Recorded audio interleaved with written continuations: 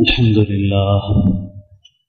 الحمد لله نحمده ونستعينه ونستغفره ونؤمن به ونتوكل عليه. ونعوذ بالله من شرور أنفسنا ومن سيئات أعمالنا. من يهد الله فلا مضل له ومن يضلل فلا هادي له.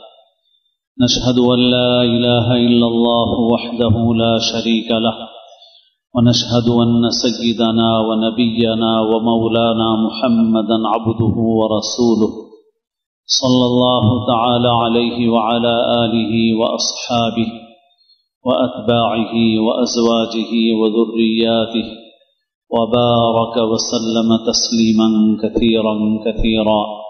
أما بعد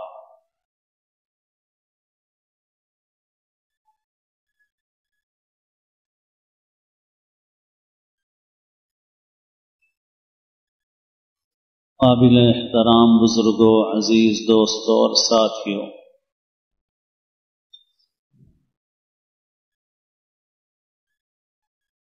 اللہ تعالی نے ہمیں مسلمان بنایا ہے۔ اور مسلمان کو سب سے بنیادی حکم جو دیا گیا ہے، وہ علم حاصل کرنے کا حکم ہے۔ اللہ کے نبی صلی اللہ علیہ وسلم پر سب سے پہلی وحی لکھنے پڑھنے سے متعلق ناصف ہوئی۔ آپ صلی اللہ علیہ وسلم نے اپنے متعلق فرمایا کہ میں معلم بنا کر بھیجا گیا ہوں۔ اور بہت ساری احادیث ہیں جن کے اندر رسول اللہ صلی اللہ علیہ وسلم نے علم حاصل کرنے کی فضیلتیں بیان فرمائی۔ لیکن اس علم کے حاصل کرنے میں جو نیت ہونی چاہیے، وہ آج وہ نیت باقی نہیں رہی۔ اور اس کا قبلہ وہ بدل گیا۔ اس زمانے میں تعلیم کی بات بہت کی جاتی ہے۔ لیکن اس زمانے میں تعلیم کا مقصد روپیہ پیسہ کمانا ہے۔ یہ ایک بہت بڑی تبدیلی ہے۔ یا یوں سمجھیے کہ جیسے نماز قبلے کی طرف رخ کر کے پڑھنا چاہیے، تو کوئی آدمی ہمارے ملک میں مغرب کی طرف قبلہ ہوتا ہے۔ کوئی آدمی بجائے مغرب کی طرف رخ کرنے کے نماز تو پڑھے مگر رخ پورا مشرق کی طرف کر لے۔ چہرہ کعبے کی طرف کرنے کے بجائے پیٹ کعبے کی طرف کر دے اور چہرہ مخالف سمت میں کر دے۔ تو اس نماز کا جو نتیجہ نکلنے والا ہے، وہی نتیجہ اس تعلیم کا نکل رہا ہے، جس تعلیم کا قبلہ بدل گیا ہے۔ جس میں نیت بدل گئی، جس کے حاصل کرنے کا جذبہ بدل گیا۔ اسی وجہ سے اس وقت دنیا میں بہت بڑی بڑی خرابیاں بہت پڑھے لکھے لوگوں کے ذریعے سے پیدا ہو رہی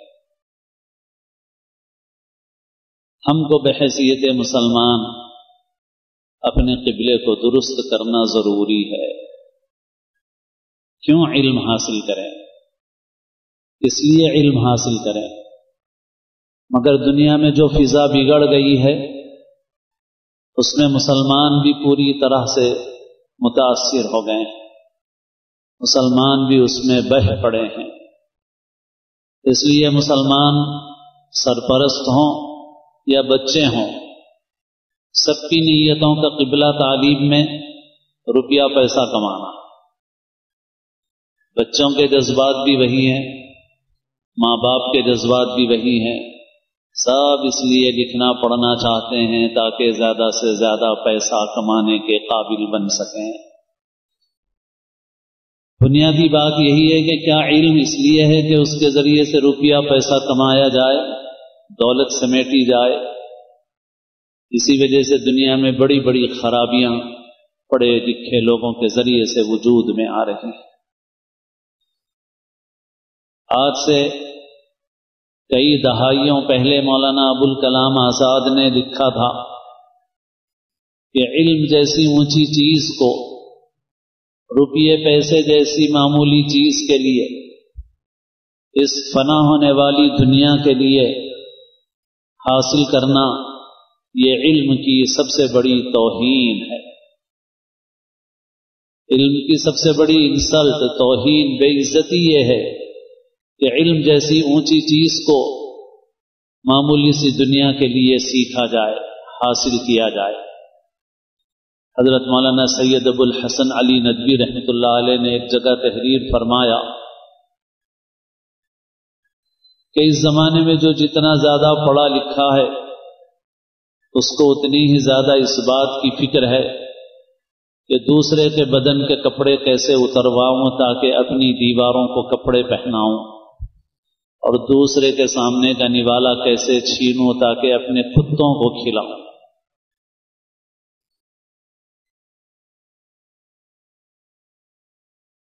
پہلے زمانے میں سماج میں، چاہے وہ مسلمانوں کا معاشرہ اور سماج ہو، چاہے دوسرے مذاہب کے لوگوں کا۔ سماج کے اندر سب سے زیادہ عزت ہوتی تھی مذہبی طبقے کی، علماء کی۔ زاہدوں کی دنیا سے بے رغبتی اختیار کر کے خالق اور مالک کی طرف متوجہ ہونے والے جو مذہبی لوگ ہوتے تھے، ان کی سب سے زیادہ عزت ہوتی تھی۔ اس کے بعد سماج میں سب سے زیادہ عزت حاصل ہوتی تھی ان لوگوں کو جو جسمانی علاج کرتے تھے۔ حکیم تھے، ڈاکٹر تھے، وید تھے۔ کسی بھی طریقے کا علاج کرتے ہوں، جسمانی علاج کرنے والے، جو حکیم، طبیب، ڈاکٹر، وید ہوا کرتے تھے، وہ سماج میں سب سے زیادہ عزت رکھتے تھے۔ وجہ اس کی یہ تھی کہ ان کے اوپر خیر خواہی کا جذبہ غالب تھا۔ وہ لوگوں کے ساتھ ہمدردی کرتے تھے۔ ایسا نہیں کہ وہ دنیا نہیں کماتے تھے۔ معاش نہیں حاصل کرتے تھے، پیسہ نہیں کماتے تھے، برابر کماتے تھے۔ لیکن پیسے کی حد سے زیادہ حرص نہیں تھی ان کے پاس۔ اگر خدا نے توفیق دی تو زیادہ بھی کمایا انہوں نے۔ مالدار لوگوں سے بڑی بڑی فیسیں لیتے تھے۔ ان کو بڑی بڑی قیمت پر اپنے نسخے اور اپنی دوائیں بیچتے تھے۔ اور غریب آتا تو اس کا مفت علاج بھی کر دیتے تھے۔ اس کو اپنے پاس سے دے دیتے۔ اس کے لیے سستے سے سستا علاج تجویز کرتے۔ خود ہمارے بچپن میں ہم حیدرآباد میں ایک معروف ڈاکٹر صاحب تھے جو اپنی حیدرآبادیت میں شہرت بھی رکھتے ہیں۔ وہ خود ان کے متعلق میں نے سنا کہ مریض آتے تھے، رکشے ہمارے بچپن میں تھے، اب تو رکشے نہیں ہیں۔ تو کوئی مریض باہر سے دیر تک انتظار کرتے ہوئے آواز دیتا کہ ڈاکٹر صاحب، بہت دیر سے بیٹھا ہوا ہوں، رکشے والا ٹھہرا ہوا ہے۔ تو ڈاکٹر صاحب اس کے رکشے والے کا کرایہ ادا کروا دیتے تھے۔ کہ جاؤ اس کے رکشے والے کو کرایہ دے کے آ جاؤ۔ تو بہرحال یہ فضا تھی۔ کیوں تھی؟ اس وجہ سے تھی کہ انہوں نے اس لیے نہیں پڑھا تھا کہ لوگوں کی کھال اتاریں، لوگوں کا خون چوسیں، خود تعلیم کا پیشہ بھی، جو لوگ ہم سے بڑی عمر کے ہیں، وہ خوب جانتے ہیں کہ جو لوگ پیشہ تدریس سے وابستہ ہوتے تھے، ہمارے ملک میں مسلمان ہی نہیں، ہمارے بہت سے ہندو اساتذہ ایسے ہوتے تھے مسلمان ہوں کہ ہندو ہوں، وہ اگر گاؤں کے کسی سرکاری اسکول کے ٹیچر ہوتے تھے، تو اس اسکول کی ڈیوٹی کے علاوہ بھی وہ گاؤں کے بچوں کو پڑھاتے تھے، قصبے کے بچوں کو پڑھاتے تھے، محلے کے بچوں کو پڑھاتے تھے۔ ان کی کوئی غرض نہیں ہوتی تھی، مگر وہ لوگوں کو علم کی ترغیب دیتے تھے، قربانی دیتے تھے۔ یہ صورت حال تھی اسی وجہ سے معاشرے میں کوئی کسی مذہب کا ہو وہ اپنے استاد کی عزت کرتا تھا، چاہے اس کا تعلق دوسرے مذہب سے ہو۔ کیونکہ وہ اساتذہ ایسے ہوتے تھے کہ ان کے اندر نفع پہنچانے کا جذبہ ہوتا تھا ہرس و لالچ کا معاملہ نہیں ہوتا تھا۔ لیکن اب صورتحال ہر میدان میں مختلف ہے۔ اب ہر چیز کو روپے پیسے سے ناپا تولا جاتا ہے۔ دنیا بس اسی لیے رہ گئی ہے کہ آپ زیادہ سے زیادہ پیسہ کماؤ، پیسہ بناؤ۔ ساری عزتیں، ساری سربلندیاں گویا اسی میں ہیں۔ یہ بات ہمارے ایمان اور عقیدے کے بھی خلاف ہے۔ اور حقیقی اعتبار سے دنیا کا لطف اٹھانا اگر کوئی چاہے تو یہ اس کے بھی منافی ہے۔ کیونکہ جس کے اندر حرص بڑھتی ہے، اسے دنیا میں چین و سکون نصیب نہیں ہوا کرتا۔ کبھی بھی چین و سکون نصیب نہیں ہوتا۔ اسی لیے اللہ کے رسول صلی اللہ علیہ وسلم نے فرمایا، قد افلح من اسلم ورزق كفافا وقنعه الله بما آتا کامیاب ہو گیا وہ شخص جو اللہ کا فرما بردار ہوا اور اس کو بقدر ضرورت روزی ملی اور اللہ نے اس روزی پر اس کو قناعت عطا فرمائی۔ جس کو بقدر ضرورت روزی ملی ہوئی ہے اور اس پر قناعت اور قلبی اطمینان اسے حاصل ہے وہ دنیاوی زندگی سے بھی لطف اٹھا رہا ہے، چین و سکون کے اندر ہے۔ اور اگر کسی کے پاس بہت پیسہ ہے، مگر اس کے حرص کا منہ کھلا ہوا ہے، تو اس کی زندگی چین و سکون سے خالی ہے۔ تو غرض، نہ ایمان و عقیدے کے اعتبار سے یہ بات صحیح ہے، اور نہ عقل و سمجھداری کے اعتبار سے یہ بات صحیح ہے۔ مگر اس وقت دنیا میں غلبہ ہے اسی کا بس۔ پڑھو اس لیے پیسہ کماؤ، پیسہ بناؤ۔ اسی لیے ہمارے ان بڑوں نے ایسی ایسی باتیں کہی ہیں۔ حضرت مولانا علی میاں نے جیسے فرمایا کہ جو جتنا زیادہ پڑھا لکھا ہے، اس کو بس کمانے کی فکر ہے، سامنے والا چاہے گڑھے میں جائے۔ دوسرا چاہے ننگا ہو جائے، مگر ہماری دیواروں پر شاندار پردے لگ جائیں۔ دوسرا چاہے بھوکا مر جائے، مگر ہم کو اتنا پیسہ ملے کہ نہ صرف ہم کھائیں، بلکہ ہمارے کتے پہ اتنا خرچ ہو کہ غریب کی فیملی پہ بھی نہیں خرچ ہوتا ہو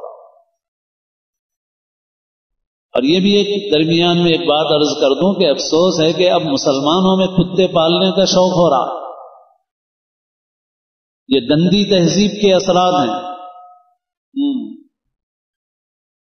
ہاں کوئی اگر ایسی آبادی میں رہتا ہے جہاں چوروں کا ڈر ہے، ڈاکوؤں کا ڈر ہے، یا اس قسم کے اور درندوں کا ڈر ہے، اور ان سے حفاظت کی تدبیر کے لیے اسے کتا رکھنا پڑے، تو وہ مجبوری اور ضرورت کے درجے میں جائز ہے۔ شوقیہ کتا پالنا جائز نہیں ہے۔ شوقیہ کتا پالنے والے، یہ گندی تہذیب کے پیروکار ہیں یہ۔ یورپ کی اس گندی تہذیب کے جو گندگی میں غلازت میں ڈوب رہی ہے۔ انسانوں سے زیادہ کتوں کی قیمت ہو گئی۔ افسوس ہے کہ بہت سے مسلمان جن کو اللہ نے مال دیا ہے، وہ اپنا مال ان چیزوں میں صرف کر رہے ہیں۔ تو بہرحال، مسلمانوں کو اپنا قبلہ درست کرنے کی ضرورت ہے۔ بحثیت مسلمان، ہمارا ہر کام دین ہے، ہمارا ہر کام عبادت ہے۔ حصول علم ہمارے لیے عبادت ہے۔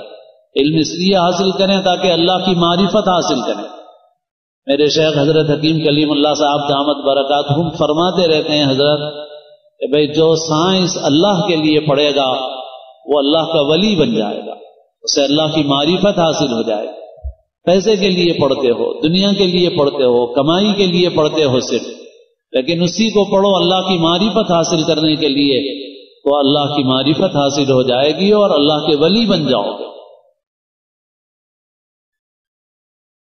جمعہ میں، رمضان میں ایک بار میں نے نوجوانوں سے عرض کیا تھا، سب کے لیے ہی ہے۔ آج کل اسکولوں سے، تعلیم گاہوں سے ہمارے بچے پڑھ کر نکل رہے ہیں۔ لیکن کسی ایک زبان میں بھی اتنی مہارت نہیں ہے کہ مطالعہ کر سکیں۔ اچھی کتابیں پڑھ سکیں اچھا لٹریچر پڑھ سکیں۔ یہ ہمارے نظام تعلیم پر بھی ایک سوالیہ نشان ہے۔ کیونکہ تعلیمی نقطۂ نظر سے بھی ماہرین تعلیم یہ بتاتے ہیں کہ انسان علم میں آگے اس وقت بڑھ سکتا ہے جبکہ اس کو کسی ایک زبان میں مہارت حاصل ہو۔ اور دنیا میں جتنے جینیز اور عبقری لوگ پیدا ہوئے ہیں، انہوں نے پہلے کسی ایک زبان میں مہارت حاصل کی ہے، پھر اس کے بعد مختلف سبجیکٹ اور مضامین انہوں نے پڑھے ہیں۔ لیکن یہاں پر زبان پر کسی عبور نہیں ہے۔ اور ایک ایک وقت میں کئی کئی زبانوں کا بوجھ ہمارے بچوں کے اوپر ہے اور پھر سبجیکٹ کئی کئی ہیں، پھیلے ہوئے ہیں سبجیکٹ۔ اسی وجہ سے پڑھ کے نکل رہے ہیں۔ تو دنیا کے مختلف کاموں کے لیے نوکر تیار ہو رہے ہیں، پڑھے لکھے نہیں تیار ہو رہے۔ اسی وجہ سے اچھی اچھی تنخواہیں رکھنے والے بھی ایسے ہیں کہ ان کو کسی ایک زبان میں مطالعہ کرنے کی صلاحیت ان کے پاس نہیں ہے۔ تنخواہ پچاس ہزار روپے ہے۔ تنخواہ ایک لاکھ روپے ہے۔ تنخواہ دو لاکھ روپے ہے ماہانہ آمدنی۔ آئی ٹی میں ہیں فلاں فیلڈ میں ہیں ایک زبان میں کیا اتنی صلاحیت ہے آپ کے پاس کہ آپ اچھا اور معیاری لٹریچر پڑھ سکیں؟ تو بیشتر ایسے ہیں کہ ان کو یہ صلاحیت نہیں اخبار پڑھ لینا اور عام بول چال کرنا الگ بات ہے۔ اور اچھی کتابیں پڑھنے کی صلاحیت الگ چیز ہے۔ تو بول لیتے ہوں گے اچھا۔ اخبار پڑھ لیتے ہوں گے۔ لیکن اچھا معیاری لٹریچر پڑھ سکتے ہیں؟ نہیں پڑھ سکتے۔ پھر کیسے پڑھے لکھے ہیں بھائی؟ یہ تعلیم یافتہ نہیں ہے یہ۔ یہ نوکر ہیں جو تیار کیے گئے۔ اسی لیے ایک مرتبہ ہمارے ایک شاگرد ہیں جو بڑی عمر میں انہوں نے پڑھائی کی اور وہ خود دنیاوی تعلیم سے تعلق رکھتے ہیں۔ مگر وہ کہنے لگے کہ اس وقت جو پڑھے لکھے کہلاتے ہیں، یہ وائٹ کالر لیبر ہیں۔ اعلی درجے کے مزدور ہیں یہ۔ کوئی چھوٹی مزدوری لینے والا مزدور ہے، یہ بڑی مزدوری ان کو ملتی ہے۔ باقی علم، شعور، خود دنیا کے حالات سے صحیح واقفیت ان کے پاس ہے۔ دنیا کے حالات سے یہ ویسے ہی اتنا ہی واقف ہیں جتنا جھوٹا پروپیگنڈا کرنے والا میڈیا بتاتا ہے۔ بس، اتنا ہی جانتے ہیں۔ اس سے آگے ان کی رسائی نہیں ہے۔ تو اس طرح دین کے علم سے بھی بے خبر ہیں اور دنیا کے بھی حقیقی حالات سے بے خبر ہے اور اس وقت تو دجالی فتنہ ہے ہی ایسا کہ اس دجالی فتنے نے لوگوں کی آنکھوں پہ پردے ڈال دیے ہیں۔ حقائق کو چھپا دیا ہے۔ جھوٹ اتنا بولو کہ لوگ اس کو صحیح سمجھنے لگے۔ بدقسمتی سے ہمارے اس ملک میں بھی فلموں اور دوسری چیزوں کے ذریعے سے جھوٹ کو پھیلانے کی کوشش کی جا رہی ہے۔ نفرت کو پھیلایا جا رہا ہے۔ اسی ٹیکنیک اور اس طریقے کو استعمال کیا جا رہا ہے۔ اور یہ صرف اسی سطح پہ نہیں ہے، مختلف سطحوں پر ہے۔ جس کی وجہ سے خود پڑھے لکھے مسلمان بہت سی غلط فہمیوں کے اندر مبتلا ہیں۔ خود ان کے اندر دین ایمان ان کا پکا نہیں ہے۔ وہ بھی بس اس کو صحیح سمجھتے ہیں جو جھوٹے لوگ بتاتے ہیں۔ بے خبر ہے۔ علم نہیں ہے۔ علم اس کا نام نہیں ہے کہ آدمی لاکھ دو لاکھ کی کمائی کرنے کے قابل ہو جائے۔ اور علم پیدا ہونے سے لے کے مرنے تک ہے۔ تو غرض یہ کہ مسلمان کو اپنا قبلہ صحیح کرنا چاہیے۔ اسی وجہ سے ہم کو ایک کام یہ کرنا چاہیے کہ ہم اپنے بچوں کو کسی ایک زبان میں پڑھنے لکھنے کے قابل بنائیں، ماہر بنائیں۔ اور سب سے آسان مادری زبان ہے۔ اور کم سے کم دو زبانوں کے متعلق طے کر لو اگر۔ تو ایک اپنی مادری زبان اور ایک عالمی جو زبان بن گئی ہے انگریزی، اس میں مہارت پیدا کر دو۔ علاقائی زبان سے زیادہ مناسبت ہے تیلگو ہے، ہندی ہے، مراٹھی ہے، جو جو بھی ہیں، اس زبان میں مہارت پیدا کرو۔ مگر یہ ایک دو زبانیں طے کر لی جائے کہ ان میں بچوں کو ماہر بنایا جائے، ان کو صرف نوکر نہ بنایا جائے، بلکہ ان کو تعلیم یافتہ بنایا جائے۔ ہمارے بچے جو پڑھ رہے ہیں، اس سے وہ نوکر بننے کے قابل ہو رہے ہیں، مگر تعلیم یافتہ بننے کے قابل ہو رہے ہیں یا نہیں ہو رہے ہیں اس کی ہمیں فکر کرنے کی ضرورت ہے، کیونکہ یہ علم روشنی ہے اور ہمارے نبی صلی اللہ علیہ وسلم علم کی روشنی کا پیغام لے کے آئے ہیں اور آج ہم اس علم کی روشنی سے ہم دور ہوتے جا رہے ہیں۔ یہ علم مباح اور جائز چیزوں کا بھی علم ہے، تو وہ بھی انسان کو دینی اعتبار سے بھی نفع پہنچاتا ہے۔ اس کے اندر اللہ نے نفع رکھا ہے۔ بہرحال ہم کو اپنی نیت کو اور اپنے عمل کے رخ کو صحیح کرنے کی ضرورت ہے۔ اللہ تعالیٰ اس امت کی پوری طرح سے حفاظت فرمائے اور ہمارے نبی صلی اللہ علیہ وسلم نے علم کا جو پیغام دیا ہے، اس پیغام پر عمل کرتے ہوئے علم کی روشنی کو حاصل کرنے کی اللہ تعالی ہمیں توفیق نصیب فرمائے، علم نافع نصیب فرمائے۔ وہ علم جس سے اللہ کی معرفت حاصل ہو اور جس سے اللہ کا قرب حاصل ہو۔ اور جس کے ذریعے سے انسان اچھے اور برے میں، صحیح اور غلط میں، حق اور باطل میں تمیز کر سکے اور جس کے ذریعے سے انسان دنیا میں بھی اچھی زندگی گزارے اور آخرت کی کامیابی حاصل کر سکے، وہی علم ہمارا مقصود ہے۔ اللہ ہمیں وہ علم عطا فرمائے۔